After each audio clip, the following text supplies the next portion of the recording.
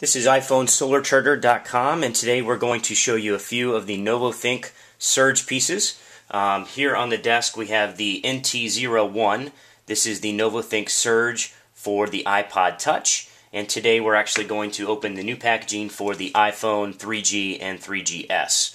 Um, little differences between the two units. There is a blue inside um, piece here as you can see for the iPod Touch and if I can get this out of the box, this is a orange inside here for the um, iPhone 3G and 3GS.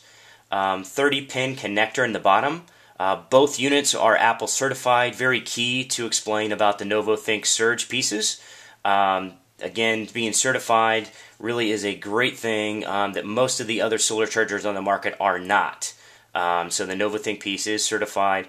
Uh, very unique, very well built, sturdy unit again made by NovoThink. Um, has an indicator, LED indicator, that shows you um, roughly how full or um, drain of the battery is on the internal of the unit itself. When you slide the iPhone into this unit, you'll get an extended about an hour and a half to two hours worth of talk time. Um, again, this is for the iPhone 3G and 3GS.